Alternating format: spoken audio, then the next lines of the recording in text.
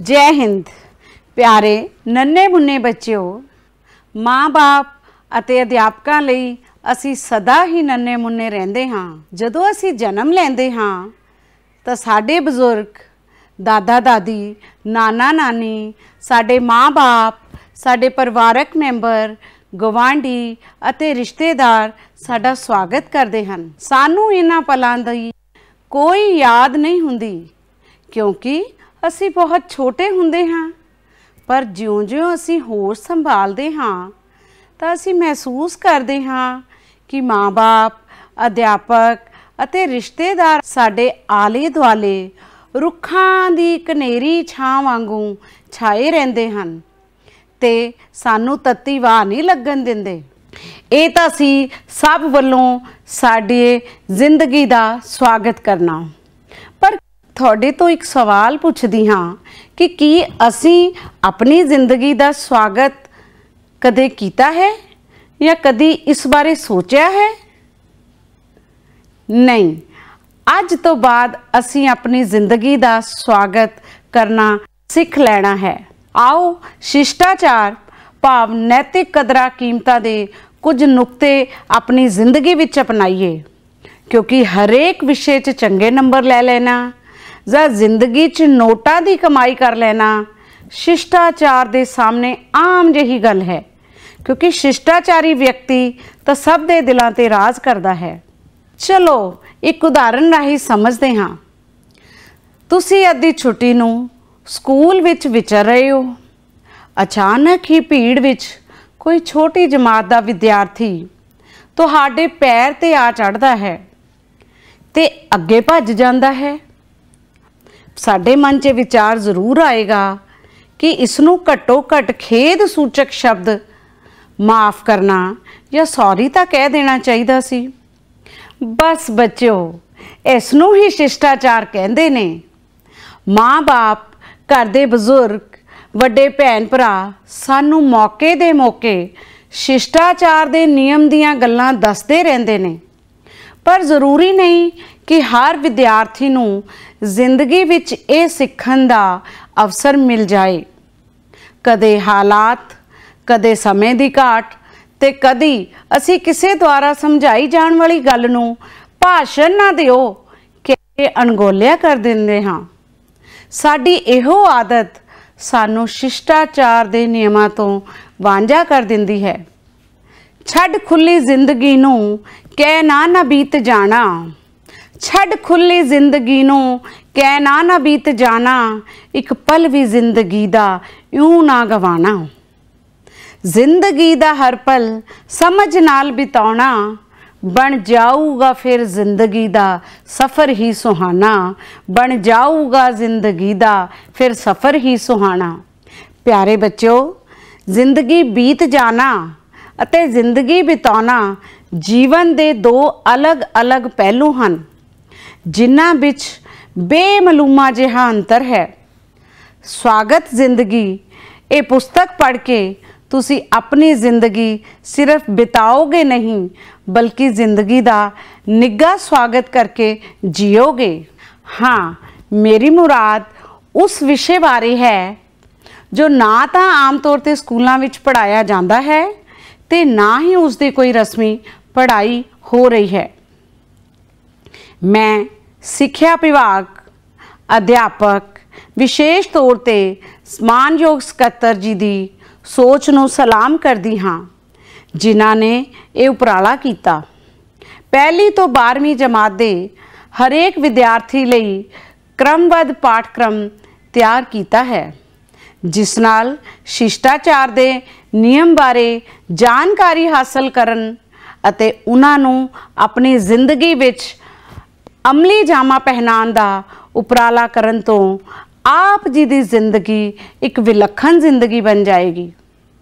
ਬਜ਼ੁਰਗਾਂ ਦਾ ਸਤਕਾਰ, ਛੋਟਿਆਂ ਨਾਲ ਪਿਆਰ, ਹਮ ਸਾਥੀਆਂ ਨਾਲ ਵਤੀਰਾ, ਸਮੇਂ ਦਾ ਸਦਉਪਯੋਗ, ਸੰਚਾਰ ਦੇ ਸਾਧਨਾਂ ਦੀ ਸੂਵਰਤੋਂ, ਹੁਨਰ ਨੂੰ ਤਰਾਸ਼ਣਾ ਸਵੈ ਵਿਸ਼ਵਾਸ ਆਪਣੇ ਕੈਰੀਅਰ ਪ੍ਰਤੀ ਚੇਤਨਾ, ਜੀਵਨ ਵਿੱਚ ਹਾਰ ਦਾ ਸਾਹਮਣਾ ਕਰਨ ਦਾ ਹੌਸਲਾ, ਗੁੱਸੇ ਤੇ ਕਾਬੂ, ਭਾਵਨਾਵਾਂ ਦਾ ਸਹੀ ਪ੍ਰਗਟਾਵਾ, ਵਿਸ਼ਿਆਂ ਬਾਰੇ ਜਾਣਕਾਰੀ ਤੁਹਾਡੀ ਜ਼ਿੰਦਗੀ ਵਿੱਚ ਨਵੀਂ ਸੋਚ ਤੇ ਨਵੀਂ ਮੰਜ਼ਿਲਾਂ ਦੇ ਰਾਹ ਖੋਲੇਗੀ ਇਸ ਉਮੀਦ ਦੇ ਨਾਲ ਮੈਂ ਸੁਦਾ ਜੈਨ ਸੁਦੀਪ, ਸਾਹਿਤਕਾਰ ਅਤੇ ਅਧਿਆਪਕ ਹੋਣ ਦੇ ਨਾਤੇ ਆਪ ਜੀ ਅਤੇ ਦੇਸ਼ ਦੇ ਉਜਲੇ ਭਵਿੱਖ ਦੀ ਕਾਮਨਾ ਕਰਦੀ ਹਾਂ।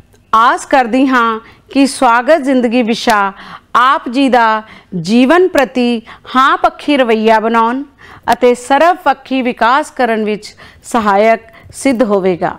ਸੋ ਸਮੇਂ ਦੀ ਮੰਗ ਹੈ ਆਪ ਜੀ ਨੂੰ ਜੀਵਨ ਜਾਚ ਸਿੱਖਣ ਲਈ ਪ੍ਰੇਰਿਆ ਜਾਵੇ ਕਿ ਅਸੀਂ ਕਿਵੇਂ ਆਪਣੀ ਜ਼ਿੰਦਗੀ ਨੂੰ ਭਰਪੂਰ ਜਿਉਣਾ ਹੈ ਤੇ ਕਿਵੇਂ ਹੋਰਨਾਂ ਨੂੰ ਆਪਣੀ ਜ਼ਿੰਦਗੀ ਜਿਉਣ ਦੇਣੀ ਹੈ। ਤਾਂ ਜੋ ਤੁਸੀਂ ਚੰਗੇ ਨਾਗਰਿਕ ਬਣ ਕੇ ਦੇਸ਼ ਨੂੰ ਉਜਵਲ ਭਵਿੱਖ ਦੇ ਸਕੋ ਤੇ ਤੁਸੀਂ ਆਪ ਨਵੀਆਂ ਮੰਜ਼ਿਲਾਂ ਵੱਲ ਪੁਲਾਂਘਾਂ ਪੁੱਟ ਸਕੋ। ਪਿਆਰੇ ਵਿਦਿਆਰਥੀਓ, ਅੱਜ ਸਵਾਗਤ ਜ਼ਿੰਦਗੀ ਵਿੱਚ ਆਪ ਦਾ ਸਵਾਗਤ ਹੈ। ਅੱਜ ਆਪਾਂ ਨੈਤਿਕ ਕਦਰਾਂ ਕੀਮਤਾਂ ਦੇ ਇੱਕ ਵਿਸ਼ੇਸ਼ ਨੁਕਤੇ ਤੇ ਗੱਲ ਕਰਨ ਜਾ ਰਹੇ ਹਾਂ, ਜਿਹੜਾ ਕਿ ਤੁਹਾਡੀ ਕਿਸ਼ੋਰ ਅਵਸਥਾ ਦੇ ਵਿੱਚ ਬਹੁਤ ਜ਼ਰੂਰੀ ਹੈ। ਬੱਚੋ, ਤੁਸੀਂ ਜਾਣਦੇ ਹੋ ਕਿ 8ਵੀਂ ਤੋਂ ਲੈ ਕੇ ਤਕਰੀਬਨ 12ਵੀਂ ਤੱਕ ਦੇ ਬੱਚਿਆਂ ਦਾ ਜਿਹੜਾ ਕਿਸ਼ੋਰ ਅਵਸਥਾ ਦਾ ਸਮਾਂ ਚੱਲ ਰਿਹਾ ਹੈ। ਸੋ ਉਸ ਸਮੇਂ ਅਸੀਂ ਆਪਣੇ ਹਮ ਉਮਰ ਸਾਥੀਆਂ ਨਾਲ ਕਿਹੋ ਜਿਹਾ ਵਿਹਾਰ ਕਰਨਾ ਹੈ, ਉਸ ਬਾਰੇ ਅੱਜ ਆਪਾਂ ਕੁਝ ਨੁਕਤੇ ਸਮਝਦੇ ਹਾਂ, ਕੁਝ ਜਾਣਦੇ ਹਾਂ। ਤੇ ਆਓ ਦੇਖਦੇ ਹਾਂ ਸਵਾਗਤ ਜ਼ਿੰਦਗੀ ਦੇ ਵਿੱਚ ਹਮ ਉਮਰ ਸਾਥੀਆਂ ਨਾਲ ਵਿਹਾਰ।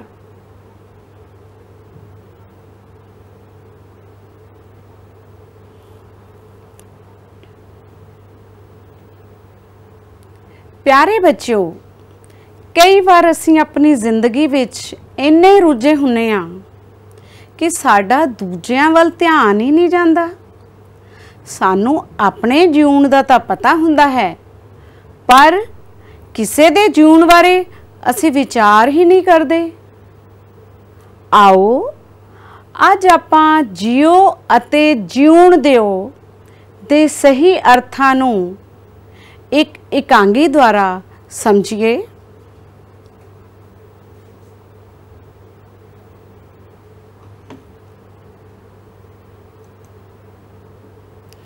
ਇਕਾਂਗੀ ਜਿਉ ਅਤੇ ਜਿਉਣ ਦਿਓ।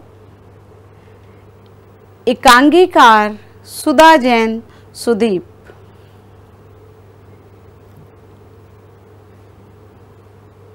ਹੈ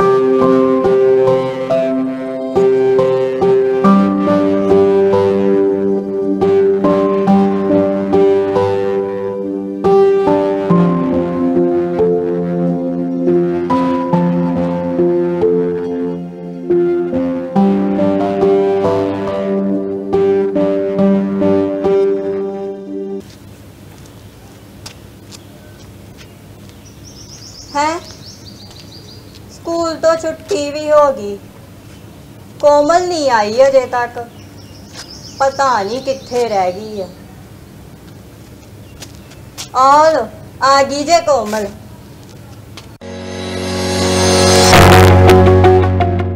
ਕੋਮਲ ਤੂੰ ਇੰਨੀ ਦੇਰ ਕਿੱਥੇ ਸੀ? ਯਾਰ ਮੈਨੂੰ ਮੈਡਮ ਨੇ ਬੁਲਾ ਲਿਆ ਸੀ। ਚੱਲ ਟਿਊਸ਼ਨ ਤੇ ਚੱਲੀਏ। ਹਾਂ ਚਲੋ ਚੱਲਦੇ। ਚਲ। ਚਲੋ।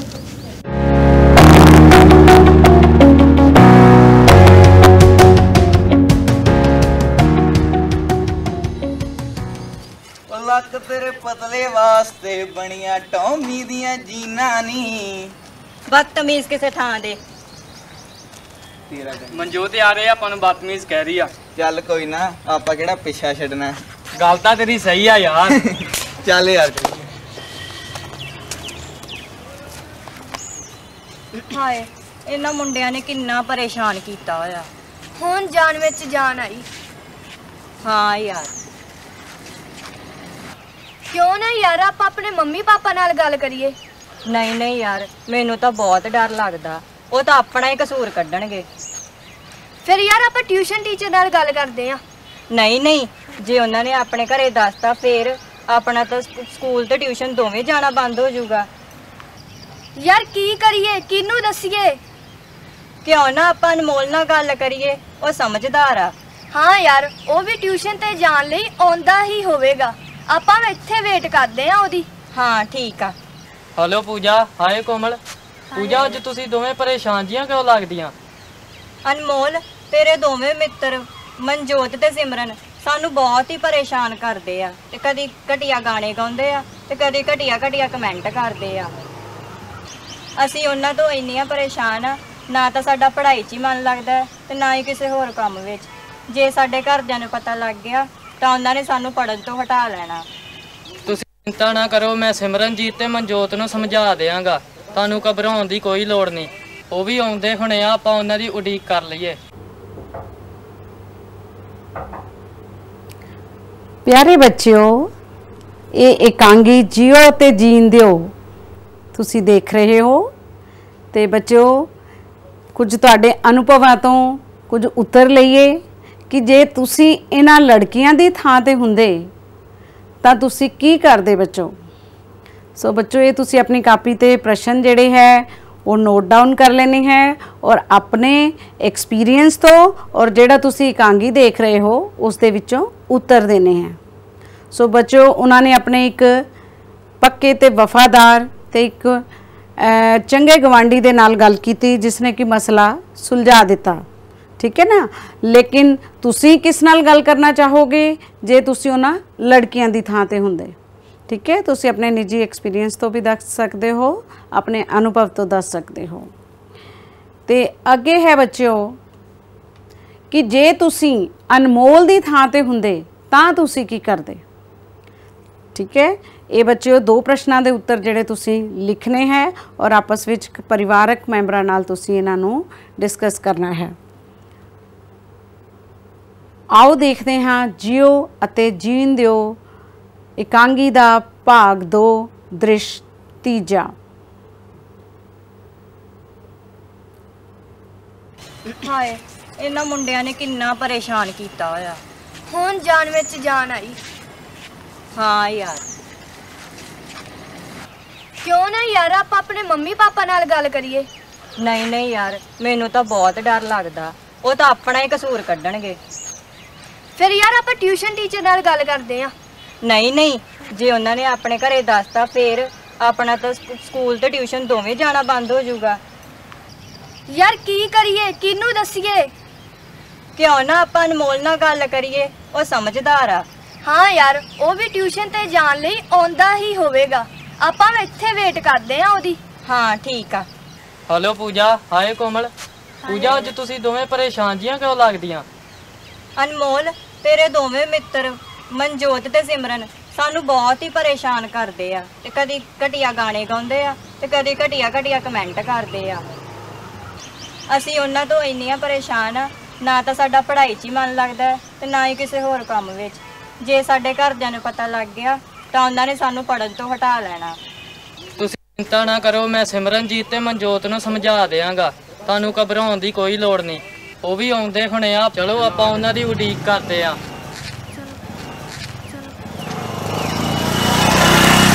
ਆ ਜਾ ਯਾਰ ਹਾਂ ਕੀ ਗੱਲ ਆ ਮਨਜੋਤ ਤੇ ਸਿਮਰਨ? ਯਾਰ ਅੱਜ ਵੀ ਫਿਲਮ ਦੇਖਣ ਚੱਲੇ ਤੇ ਨਾਲ ਕੱਲ ਨੂੰ ਗੱਲ ਕਰਾਂਗੇ। ਕੋਈ ਗੱਲ ਨਹੀਂ ਫਿਲਮ ਤਾਂ ਤੁਹਾਨੂੰ ਮੈਂ ਦਿਖਾ ਦਿਆਂਗਾ ਪਰ ਮੇਰੀ ਗੱਲ ਬਹੁਤ ਜ਼ਰੂਰੀ ਆ। ਇਹੋ ਜੀ ਕਿਹੜੀ ਜ਼ਰੂਰੀ ਗੱਲ ਆ ਅਨਮੋਲ?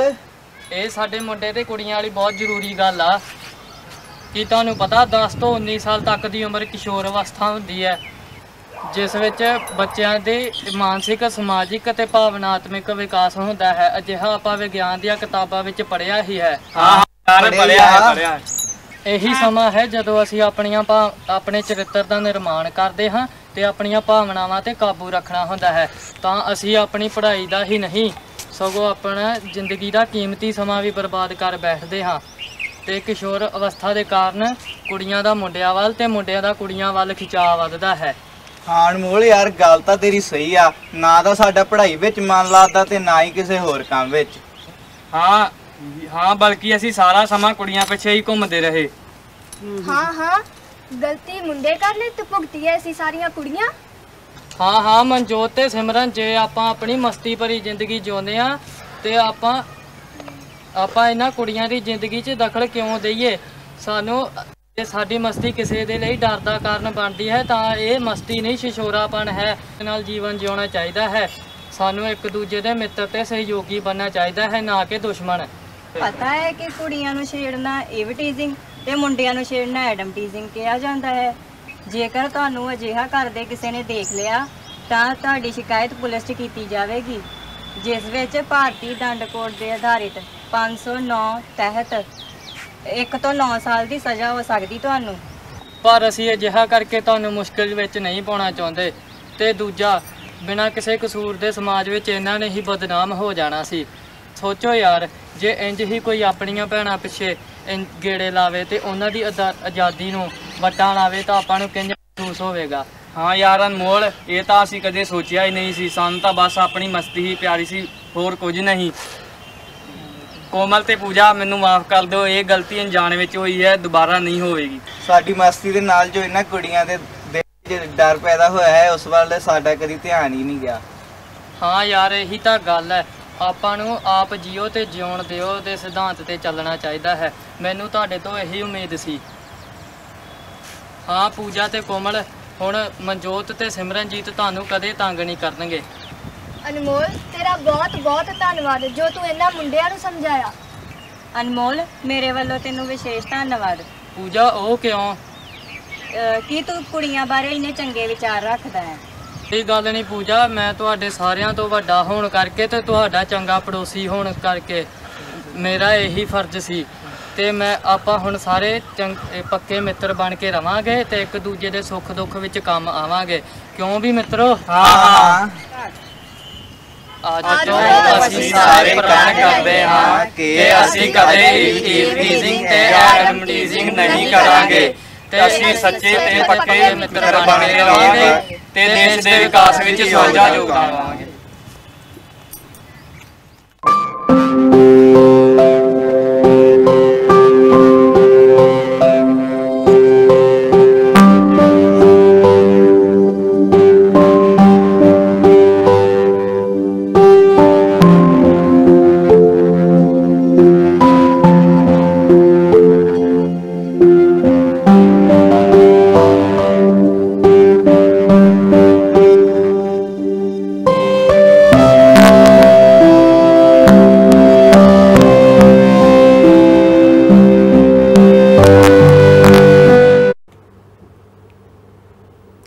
ਪਿਆਰੇ ਵਿਦਿਆਰਥੀਓ, ਅੱਜ ਅਸੀਂ ਵੀ ਸਾਰੇ ਇਕੱਠੇ ਹੋ ਕੇ ਪ੍ਰਣ ਲੈਂਦੇ ਹਾਂ।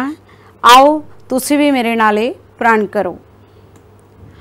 ਅੱਜ ਤੋਂ ਅਸੀਂ ਸਾਰੇ ਪ੍ਰਣ ਲੈਂਦੇ ਹਾਂ ਕਿ ਅਸੀਂ ਕਦੇ ਵੀ ਈਵ ਟੀਜ਼ਿੰਗ ਜਾਂ ਐਡਮ ਟੀਜ਼ਿੰਗ ਨਹੀਂ ਕਰਾਂਗੇ ਅਤੇ ਸੱਚੇ, ਪੱਕੇ ਤੇ ਵਫਾਦਾਰ ਮਿੱਤਰ ਬਣ ਕੇ ਦੇਸ਼ ਦੇ ਵਿਕਾਸ ਵਿੱਚ ਸਾਂਝਾ ਯੋਗਦਾਨ ਪਾਵਾਂਗੇ। ਸੋ ਬੱਚਿਓ, ਤੁਸੀਂ ਇਹ ਪ੍ਰਣ ਲਿੱਤਾ ਹੈ ਤੇ ਕੋਸ਼ਿਸ਼ ਕਰਨੀ ਹੈ ਕਿ ਤੁਸੀਂ ਆਪਣੀ ਜ਼ਿੰਦਗੀ ਵਿੱਚ ਸਭ ਨੂੰ ਜਿਹੜਾ ਹੈ ਲੜਕੀਆਂ ਨੇ ਲੜਕਿਆਂ ਨਾਲ ਔਰ ਲੜਕਿਆਂ ਨੇ ਲੜਕੀਆਂ ਨਾਲ ਜਿਹੜਾ ਹੈ ਇੱਕ ਸਹਿਯੋਗੀ ਵਾਲਾ ਵਿਵਹਾਰ ਰੱਖਣਾ ਹੈ। ਆਓ ਇਸ ਨਾਟਕ ਵਿੱਚ ਦੇਖੇ ਸਥਿਤੀਆਂ ਦੇ ਵਿੱਚੋਂ ਤੇ ਆਪਣੇ ਜੀਵਨ ਦੇ ਅਨੁਭਵਾਂ ਤੋਂ ਉੱਤਰ ਦਈਏ। ਬੱਚਿਓ, ਤੁਹਾਨੂੰ ਇਹ ਨਾਟਕ ਵਿੱਚ ਕਿਹੜਾ ਪਾਤਰ ਸਭ ਤੋਂ ਚੰਗਾ ਲੱਗਿਆ ਹੈ ਤੇ ਕਿਉਂ? ਬੱਚਿਓ, ਤੁਸੀਂ ਪ੍ਰਸ਼ਨ ਜਿਹੜੇ ਹੈ, ਆਪਣੇ ਕਾਪੀ ਤੇ ਉਤਾਰ ਲੈਣੇ ਹੈ ਔਰ ਇਸ ਨਾਟਕ ਨੂੰ ਤੁਸੀਂ ਬੜਾ ਇੰਜੋਏ ਕੀਤਾ ਹੋਵੇਗਾ ਬੜਾ ਦੇਖਿਆ ਹੋਵੇਗਾ ਆਨੰਦ ਮਾਣਿਆ ਹੋਵੇਗਾ ਤੇ ਇਸ ਦੇ ਆਧਾਰ ਤੇ ਤੇ ਜੇ ਤੁਹਾਡੀ ਜ਼ਿੰਦਗੀ ਦਾ ਐਕਸਪੀਰੀਅੰਸ ਕੁਝ ਹੋਰ ਹੈ, ਅਨੁਭਵ ਕੁਝ ਹੋਰ ਹੈ ਤੁਸੀਂ ਉਸ ਦੇ ਹਿਸਾਬ ਨਾਲ ਲਿਖੋਗੇ। ਅਗਲਾ ਹੈ ਕਿ ਮੁੰਡੇ ਕੁੜੀਆਂ ਨੂੰ ਬਰਾਬਰੀ ਦਾ ਹੱਕ ਹੋਣਾ ਚਾਹੀਦਾ ਹੈ। ਇਹਦਾ ਤੁਸੀਂ ਜੀ ਹਾਂ ਜਾਂ ਜੀ ਨਹੀਂ ਦੇ ਵਿੱਚ ਜਵਾਬ ਬੱਚੋ ਲਿਖੋਗੇ ਕਿ ਮੁੰਡੇ ਕੁੜੀਆਂ ਨੂੰ ਬਰਾਬਰੀ ਦਾ ਹੱਕ ਹੋਣਾ ਚਾਹੀਦਾ ਹੈ। ਕੀ ਤੁਸੀਂ ਹੁਣ ਆਪਣੇ ਲਈ ਜੀਵਨ ਜਿਉਂਦੇ ਹੋ? ਇਹ ਨਾਟਕ ਤੋਂ ਪਹਿਲਾਂ ਦੀ ਦੱਸਣਾ ਤੁਸੀਂ ਕਿ ਆਪਣੇ ਲਈ ਤੁਸੀਂ ਜੀਵਨ ਜੀਂਦੇ ਹੋ? ਜਾਂ ਤੁਸੀਂ ਬਾਕੀਆਂ ਦੀ ਵੀ ਪਰਵਾਹ ਕਰਦੇ ਹੋ ਜਾਂ ਬਾਕੀਆਂ ਦੀ ਵੀ ਜ਼ਿੰਦਗੀ ਜਿਉਣ ਦਿੰਦੇ ਹੋ, ਉਹਨਾਂ ਦੇ ਵੱਲ ਵੀ ਧਿਆਨ ਰੱਖਦੇ ਹੋ। ਸੋ ਇਸ ਦਾ ਜਵਾਬ ਵੀ ਤੁਸੀਂ ਹਾਂ ਜਾਂ ਨਾ ਵਿੱਚ ਦੇਣਾ ਹੈ ਬੱਚਿਓ। ਅੱਗੇ ਹੈ ਬੱਚੋ ਕਿ ਅੱਜ ਤੁਹਾਨੂੰ ਪਤਾ ਲੱਗਿਆ ਕਿ ਸਾਨੂੰ ਦੂਜਿਆਂ ਨੂੰ ਵੀ ਜਿਉਣ ਦੇਣਾ ਚਾਹੀਦਾ ਹੈ। ਹਾਂ, ਬਿਲਕੁਲ ਪਤਾ ਲੱਗਿਆ ਹੋਵੇਗਾ ਬੱਚੋ ਇਹਦਾ ਉੱਤਰ ਜਿਹੜਾ ਹੈ, ਉਹ ਤੁਸੀਂ ਜੀ ਹਾਂ ਦੇ ਵਿੱਚ ਹੀ ਕਰੋਗੇ ਤੇ ਤੇ ਤੁਹਾਨੂੰ ਕਿਹੋ ਜਿਹਾ ਲੱਗਿਆ? ਇਹ ਇਹਨੂੰ ਦੇਖ ਕੇ ਨਾਟਕ ਨੂੰ, ਇਕਾਂਗੀ ਨੂੰ ਉਹ ਤੁਸੀਂ ਲਿਖਣਾ ਹੈ। ਅੱਗੇ ਹੈ ਬੱਚੇ, ਤੁਹਾਨੂੰ ਆਪਣੇ ਸਹਿਪਾਠੀ ਮੁੰਡੇ ਕੁੜੀਆਂ ਨਾਲ ਕਿਹੋ ਜਿਹਾ ਵਿਹਾਰ ਕਰਨਾ ਚਾਹੀਦਾ ਹੈ? ਇਸ ਨਾਟਕ ਵਿੱਚ ਵੀ ਦੇਖਿਆ, ਆਮ ਲਾਈਫ ਵਿੱਚ ਵੀ, ਆਮ ਜ਼ਿੰਦਗੀ ਵਿੱਚ ਵੀ ਤੁਸੀਂ ਦੇਖ ਰਹੇ ਹੋ। ਸੋ ਉਹਦੇ ਤੇ ਅਨੁਭਵਾਂ ਦੇ ਆਧਾਰ ਤੇ ਤੁਸੀਂ ਲਿਖਣਾ ਹੈ ਕਿ ਸਾਨੂੰ ਆਪਣੇ ਸਹਿਪਾਠੀ ਜਾਂ ਆਪਣੇ ਪਰਿਵਾਰਕ ਮੈਂਬਰ ਜਾਂ ਆਪਣੇ ਆਂਢ ਗੁਆਂਢ ਦੇ ਮੁੰਡੇ ਕੁੜੀਆਂ ਨਾਲ ਕਿਹੋ ਜਿਹਾ ਵਿਹਾਰ ਕਰਨਾ ਚਾਹੀਦਾ ਹੈ। ਸੋ ਇਹਦਾ ਉੱਤਰ ਦੋਗੇ ਬੱਚੋ? ਬੱਚੋ, ਇਹ ਇਕਾਂਗੀ ਜਿਹੜਾ ਹੈ, ਮੈਂ ਸੁਧਾ ਜੈਨ, ਸੁਦੀਪ, ਆਪ ਜੀ ਦੇ ਸਾਹਮਣੇ ਇਹ ਜਿਹੜਾ ਹੈ ਨੈਤਿਕ ਕਦਰਾਂ ਕੀਮਤਾਂ ਦਾ ਇੱਕ ਨੁਕਤਾ ਪੇਸ਼ ਕਰ ਰਹੀ ਸੀ। ਉਮੀਦ ਹੈ ਤੁਹਾਨੂੰ ਪਸੰਦ ਆਇਆ ਹੋਵੇਗਾ। ਜੀਓ ਅਤੇ ਜੀਉਣ ਦਿਓ ਨੁਕਤੇ ਦੇ ਵਿੱਚੋਂ। ਬੱਚੋ, ਤੁਸੀਂ ਅੱਜ ਬਹੁਤ ਕੁਝ ਸਿੱਖਿਆ ਹੋਵੇਗਾ। ਆਓ ਇਸ ਸਿੱਖਣ ਸਿਖਾਉਣ ਦੀ ਪ੍ਰਕਿਰਿਆ ਦੇ ਨਾਲ ਨਾਲ ਕੁਝ ਮਨੋਰੰਜਨ ਵੀ ਕਰਦੇ ਹਾਂ, ਕਿਉਂਕਿ ਮਨੋਰੰਜਨ ਨਾਲ ਸਾਡਾ ਮਨ ਸਹਿਜ ਅਵਸਥਾ ਦੇ ਵਿੱਚ ਆ ਜਾਂਦਾ ਹੈ। ਤੇ ਅਸੀਂ ਖੁਸ਼ੀ ਤੇ ਆਨੰਦ ਮਹਿਸੂਸ ਕਰਦੇ ਹਾਂ। ਬੱਚਿਓ, ਮੈਂ ਤੁਹਾਡੇ ਲਈ ਵੈਲਕਮ ਲਾਈਫ ਲਈ, ਸਵਾਗਤ ਜ਼ਿੰਦਗੀ ਲਈ ਇੱਕ ਵਿਸ਼ੇਸ਼ ਬਾਲ ਗੀਤ ਲਿਖਿਆ ਹੈ, ਜਿਸ ਤੇ ਸਪੈਸ਼ਲੀ ਤੌਰ ਤੇ ਤੁਹਾਡੇ ਲਈ ਪਪਟ ਸ਼ੋ ਤਿਆਰ ਕੀਤਾ ਗਿਆ ਹੈ। ਤੁਹਾਡੇ ਨਾਲ ਇਹ ਗੱਲ ਸਾਂਝੀ ਕਰਦੇ ਹੋਏ ਮੈਂ ਬਹੁਤ ਖੁਸ਼ੀ ਤੇ ਮਾਣ ਮਹਿਸੂਸ ਕਰ ਰਹੀ ਹਾਂ ਕਿ ਸਾਡੇ ਹੀ ਸਰਕਾਰੀ ਸਕੂਲ ਦੇ ਇੱਕ ਵਿਦਿਆਰਥੀ ਨੇ ਇਹ ਪਪਟ ਸ਼ੋ ਤਿਆਰ ਕੀਤਾ ਹੈ ਸਿਰਫ 16 ਸਾਲ ਦੀ ਉਮਰ ਦੇ ਵਿੱਚ ਇਸ ਵਿਦਿਆਰਥੀ ਨੇ ਪ੍ਰਿੰਸ ਆਫ ਪਪਟ ਸ਼ੋ ਦਾ ਖਿਤਾਬ ਜਿੱਤਿਆ ਹੈ ਜੋ ਕਿ ਕੋਈ ਟ੍ਰੇਨਿੰਗ ਪ੍ਰਾਪਤ ਵਿਅਕਤੀ ਨਹੀਂ ਹੈ ਬਲਕਿ ਇੱਕ ਤੁਹਾਡੇ ਹੀ ਵਰਗਾ ਆਮ ਵਿਦਿਆਰਥੀ ਹੈ ਸੋ ਉਸ ਦਾ ਨਾਮ ਹੈ ਗੁਰਪ੍ਰੀਤ ਸਿੰਘ ਦਾਖਾ ਆਓ ਦੇਖਦੇ ਹਾਂ ਤੇ ਆਨੰਦ ਮਾਣਦੇ ਹਾਂ ਇਸ ਪਪਟ ਸ਼ੋ ਦਾ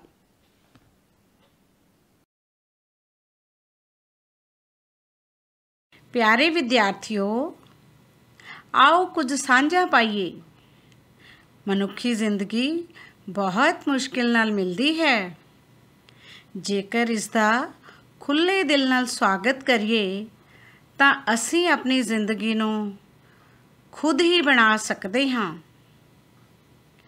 ਆਓ ਸਟੇਟ ਅਵਾਰਡੀ ਅਧਿਆਪਕਾਂ ਹਰਮੇਸ਼ ਕੌਰ ਯੋਧੇ ਤੇ ਸੁਧਾ ਜੈਨ ਸੁਦੀਪ ਵੱਲੋਂ ਲਿਖਿਆ ਇਹ ਗੀਤ ਤੇ prince of puppet shows Gurpreet Singh Dakha ਵੱਲੋਂ ਤਿਆਰ ਕੀਤਾ ਗਿਆ ਇਹ ਪਪਟ ਸ਼ੋ ਦੇਖਦੇ ਹਾਂ। ਜਿਸ ਨੂੰ ਗਾਇਆ ਹੈ ਸੁਧਾ ਜੈਨ ਸੁਦੀਪ ਅਤੇ ਸਾਥੀਆਂ ਨੇ। ਤੇ ਸਾਜ਼ ਤੇ ਸਾਥ ਦਿੱਤਾ ਹੈ ਮਿਸ ਜਸਮੀਤ ਕੌਰ ਆਓ ਫਿਰ ਵੇਖਦੇ ਹਾਂ ਪਪਟ ਸ਼ੋ ਝੂਮਦੇ ਹਾਂ ਇਸ ਦੀ। ਧੁਨ ਉਤੇ ਅਤੇ ਜ਼ਿੰਦਗੀ ਦੇ ਸਹੀ ਅਰਥਾਂ ਨੂੰ ਸਮਝਦੇ ਹੋਏ ਇਸ ਨੂੰ ਆਪਣੇ ਜੀਵਨ ਵਿੱਚ ਅਮਲ ਵਿੱਚ ਲਿਆਉਨੇ ਹਾਂ। ਜ਼ਿੰਦਗੀ ਦਾ ਕਰੀਏ, ਸਵਾਗਤ ਨਿਰਾਲਾ।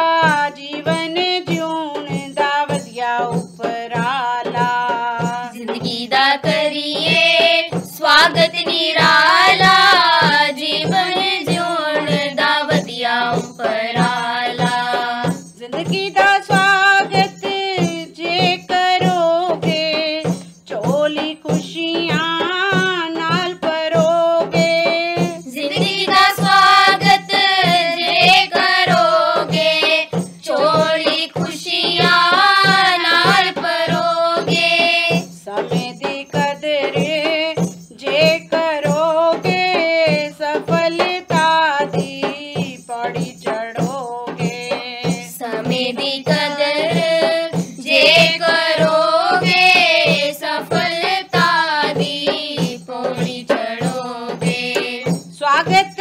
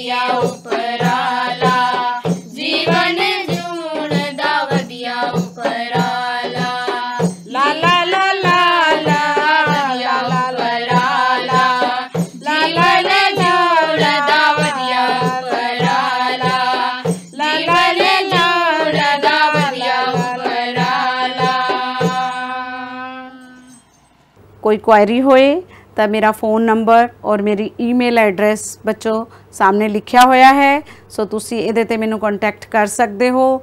ਜੇ ਤੁਹਾਨੂੰ ਪ੍ਰਭਾਵਸ਼ਾਲੀ ਲੱਗਿਆ ਜਾਂ ਕੁਝ ਗੱਲਾਂ ਅੱਛੀਆਂ ਲੱਗੀਆਂ, ਤੁਹਾਡੀ ਜ਼ਿੰਦਗੀ ਵਿੱਚ ਇਸ ਨਾਟਕ ਨੂੰ ਦੇਖ ਕੇ ਕੁਝ ਸੁਧਾਰ ਆਂਦਾ ਹੈ, ਤਾਂ ਜ਼ਰੂਰ ਆਪਣੀ ਫੀਡਬੈਕ ਦਿਓ। ਇਹ ਜਿਉ ਅਤੇ ਜੀਉਣ ਦਿਓ ਪਾਠ ਅਤੇ ਸਵਾਗਤ ਜ਼ਿੰਦਗੀ ਦਾ ਇੱਕ ਨੁਕਤਾ ਦੇਖਣ ਲਈ। ਮੈਂ ਆਪ ਜੀ ਦਾ ਬਹੁਤ-ਬਹੁਤ ਧੰਨਵਾਦ ਕਰਦੀ ਹਾਂ। ਉਮੀਦ ਹੈ ਤੁਹਾਡੀ ਜ਼ਿੰਦਗੀ ਵਿੱਚ ਇਹ ਜ਼ਰੂਰ ਕੰਮ ਆਏਗਾ। ਧੰਨਵਾਦ ਬੱਚਿਓ।